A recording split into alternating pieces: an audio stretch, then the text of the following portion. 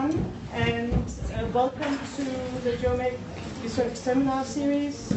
As most of you will know, I'm Meyer Jorgensen, and I'm the Director of Research Development and Environment in the school, and it is my honor and pleasure to uh, introduce Paul Bowman, Dr. Paul Bowman, um, who many of you will know as the Director of Postgraduate Research in school. Many of you will also know as the world leading expert on martial arts. Um, and um, he's actually just uh, published Martial Arts Studies Disciplinary Boundaries. He's also the founder and director of the AHRC funded Martial Arts Studies Research Network. And he's a co-editor of the open access online journal Martial Arts Studies. And he is a whole martial arts empire in, put into one man. Um, and today um, he is going to uh, be talking about this project of the emergent interdisciplinary field of martial arts studies. So over to you, Paul. Thank you very much. Um, so the subtitle changed a bit when I actually when I actually wrote it.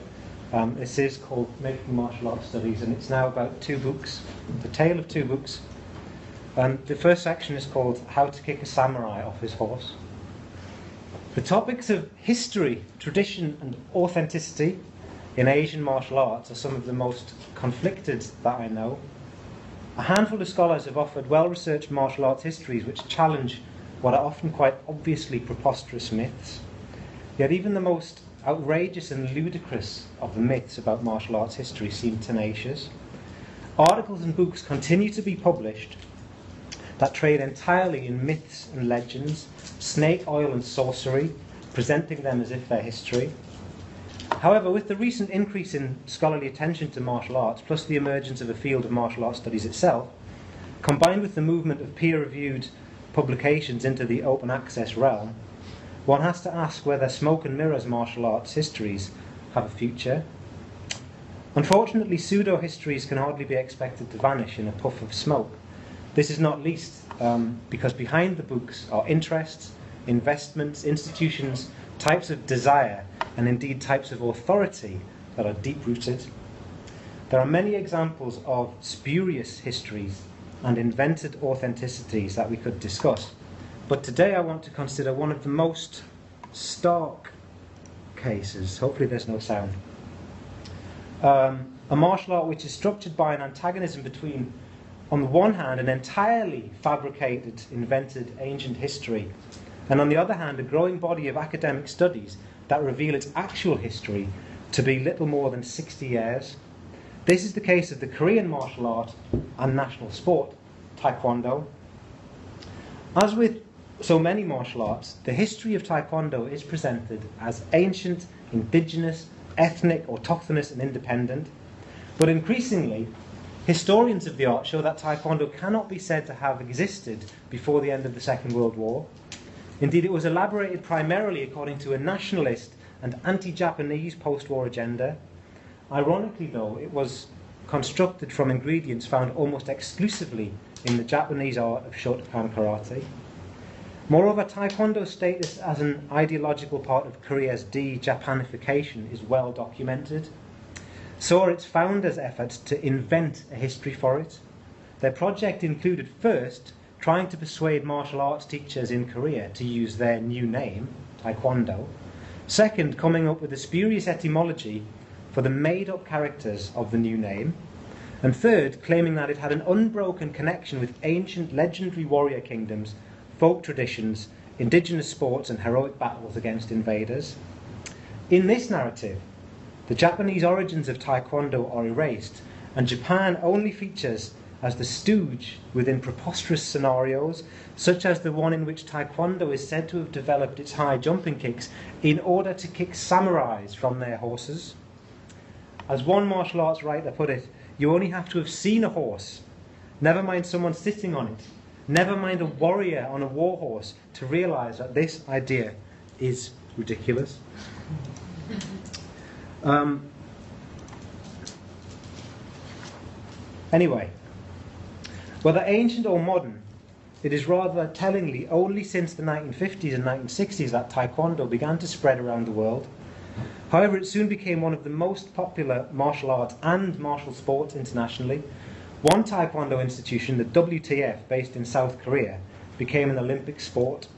Another institution, the ITF, based in North Korea, perhaps unsurprisingly presents itself as a lethal, pure, authentic killing art.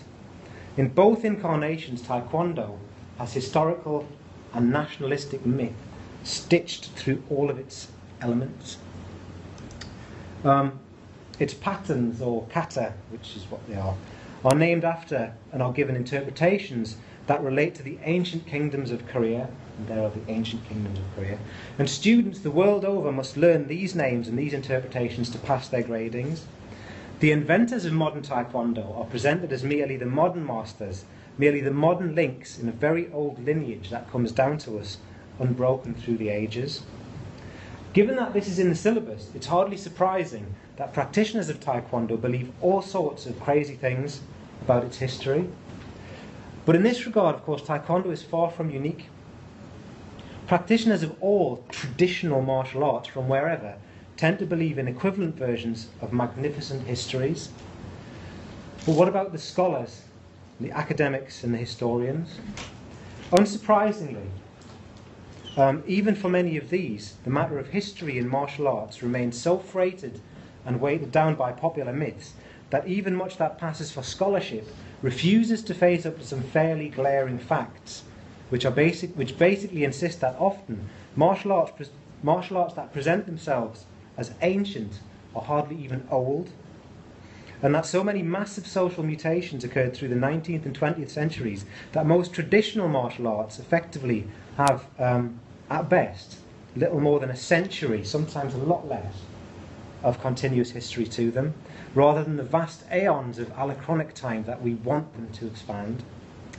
But scholarship is increasingly waking up to the inventedness of many traditions.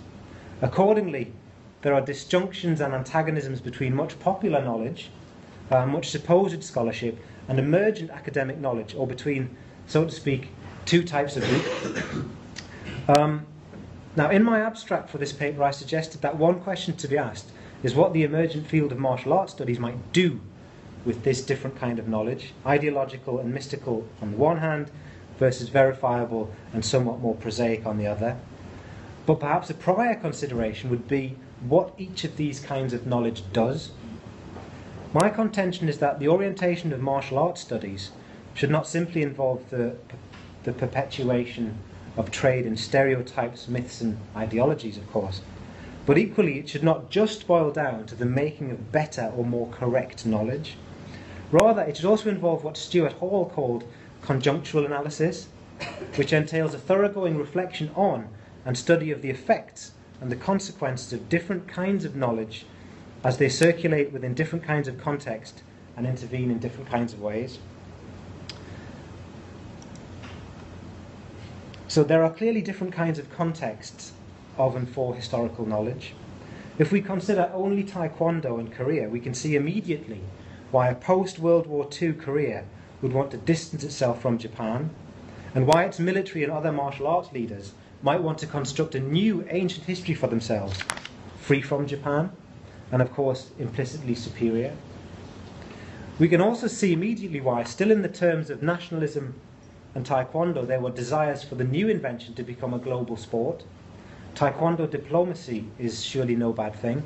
Reciprocally, the emergence of the contrary desire to remain free from the tarnish of sport and to claim a purely martial character also makes sense. So these are some um, Korean conscripts in the Japanese military. In both contexts, we'll watch this one first. Um, in both contexts, it makes obvious sense to go on to build museums and institutes and exhibition centres to educate people about the art and its place within the culture. This is uh, a promotional video for what's called the Taekwondowon, which is the new mecca for Taekwondo that Samsung funded and they built in Muju, a ski resort in Korea. Um, uh, and it's a place that they've invited me to come to talk about Taekwondo. so we shall see what happens, right? Um, send help if I'm not back. Um, so, exhibition centres, museums to educate people about the art and its place within the culture, and to commission research to produce studies and books and television programs and documentaries and websites and so on and so forth. It makes absolute sense for the new to become the ancient to represent the country, to capture hearts and minds, to become the heritage with a centre, a mecca for tourist pilgrims like this one, with ambassadors and embassies and annexes and so on.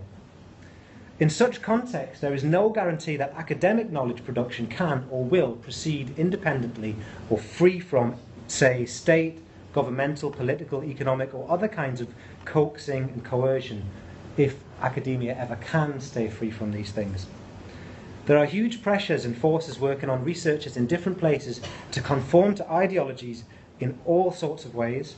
For instance, in a study of uh, Chi Chuan, um, Adam Frank points to the ways that Chinese academic studies in China of Tai Chi, Qigong, and Qi in general overwhelmingly toe an ideological line in terms of the ways that these subjects are approached, which questions are brought to bear on them, and what conclusions are reached. This may seem dispiriting. What does it say about the purity and integrity of honest scholarship, for instance? Whatever our answers, we have to concede that there is big business and big PR and great financial and ideological opportunities in nationalising martial arts along self orientalising lines, as is clearly happening in such places as the PRC, Hong Kong, and South Korea, among others. But what about other contexts where martial arts are not nationalist ideological interests? What about closer to home? What about here? What is the situation with the Battle of the Books here? Let me bring it as close to home as I can.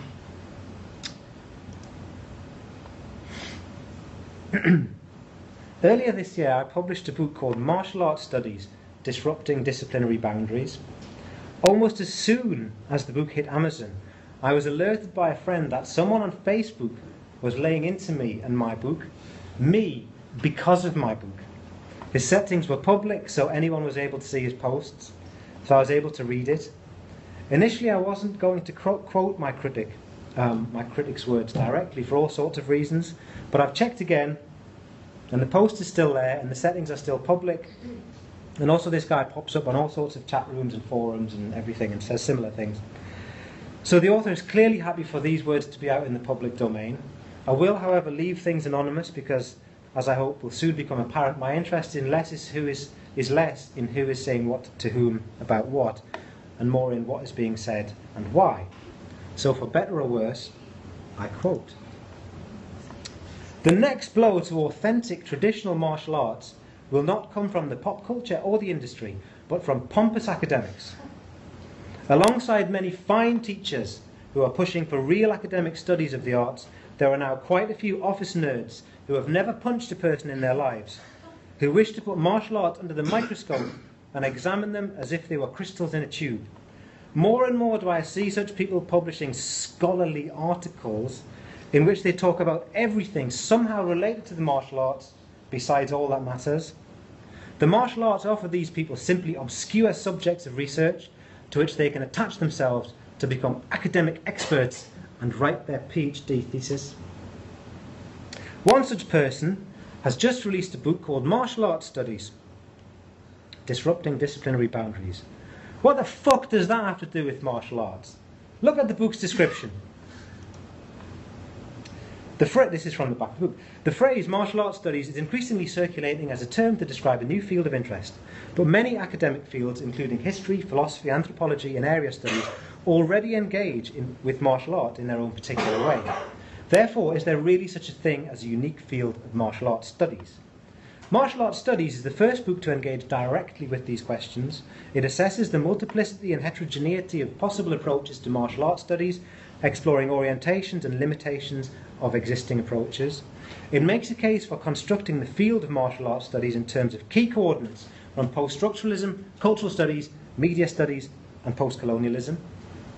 By using these anti-disciplinary approaches to disrupt the approaches of other disciplines, martial arts studies proposes a field that both emerges out of and differs from its many disciplinary locations. What the heck does this even mean? Who cares? You know what the, that author wrote me when I offered he review my book, as he presents himself as a martial arts expert?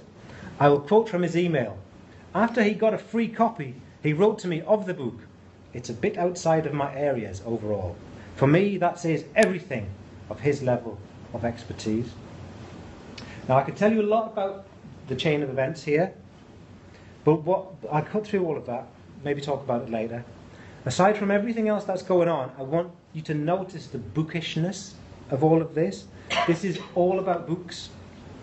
Yet we tend to think that martial arts are about training bodies into weapons, how to use weapons, how to deal with weapons, to withstand bodily weapons, or body callousing, as it has been called. But what we see in my anecdote is not a bodily battle, it is rather a battle over the book, and ultimately a dispute about authority, about kinds of authority. Each of us, my critic and myself, have a sense of what a good book is and what is a bad book, a right book and a wrong book. The problem is that faced with each other's books, we don't agree on which is which. As Jean Francois Lyotard would have once said, there is a differend between us, a fundamental difference of opinion as to what is right and what is wrong, and moreover, a difference that cannot really be settled without some damage being done to one or both of the parties. If we side with me, we damage him. If we side with him, we damage me. If we compromise in some kind of halfway settlement, we damage both of us. This is part of what Lyotard means by differend.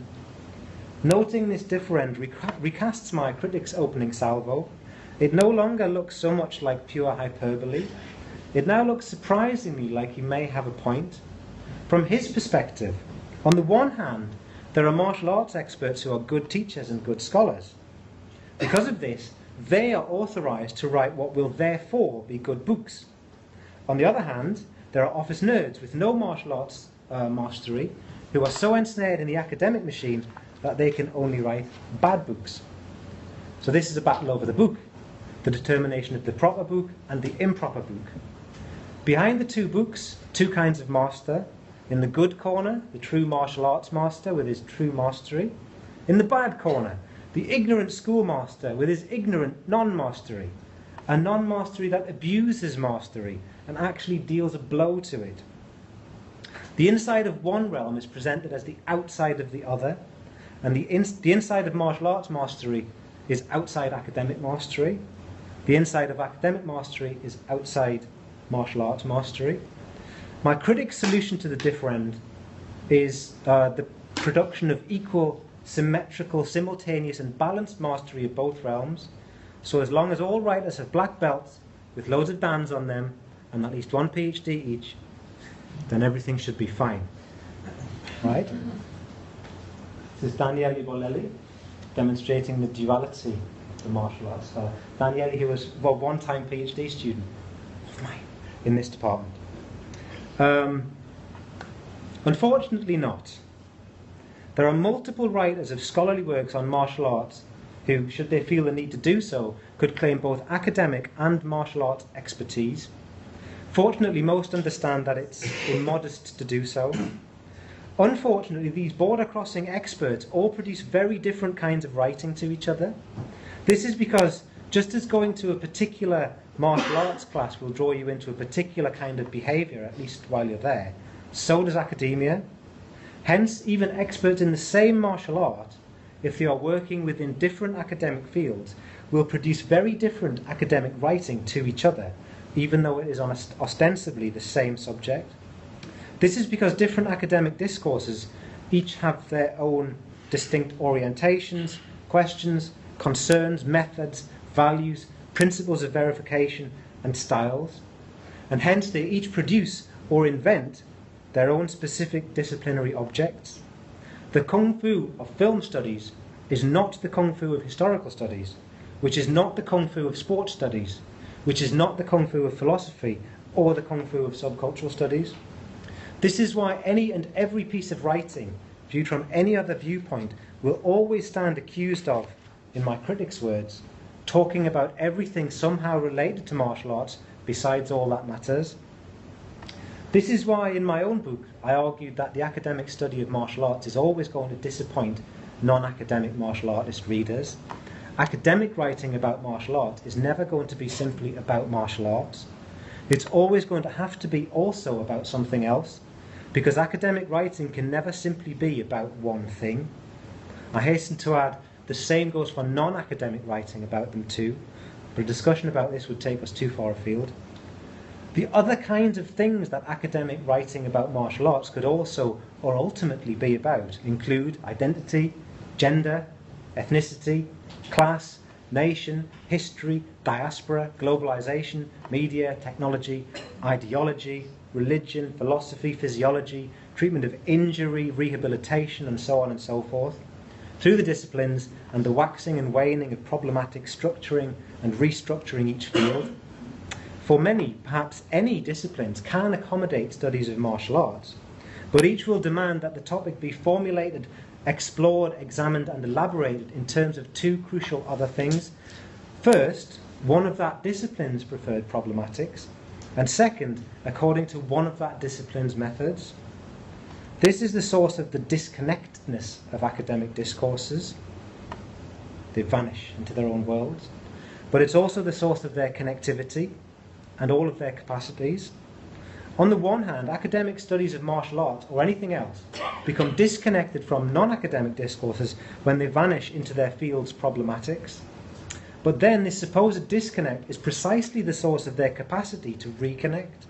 The medical or mechanical study of the knee in Tai Chi or Taekwondo, or of blood pressure or brain function, or the study of historical legislation around weapons, or political projects around street violence, and so on, might all come to have the ca- capacity to intervene in the real world, precisely because of their principal drift or distance away from everyday discourse. So when it comes to my book, perhaps my critic has a point. Perhaps my kind of book is indeed striking a blow against all that he holds dear, up to and including his own claims of authority.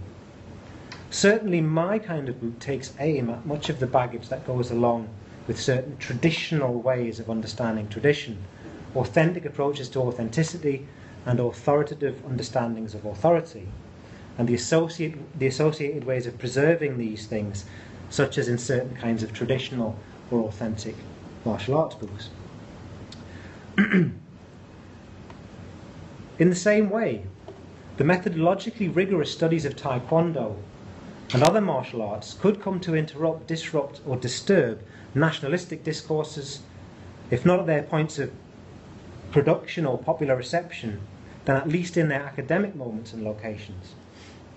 At the very least, such academic studies stand in stark contrast to the touristic, orientalist versions of martial arts histories and cultures and their smooth deployment in ethno nationalist ideological fantasies, both of which trade in emotive evocations of tradition and authenticity. It's in this way that I would most hope that the work of both me and my office nerd colleagues could indeed deliver the next big blow to authentic traditional martial arts. For the authentic and traditional in this formulation seem to be valuable only to the extent that they remain mystified and occulted and controlled by masters with secret and ultimate and enigmatic mysterious knowledge. This kind of knowledge is snake oil and shark fin, or rhino horn and tiger penis. All such things are precious, of course, and precisely because they are precious, they should not be consumed. And I invite any who disagree with me to try to kick me off my horse. Thank you very much. That's me.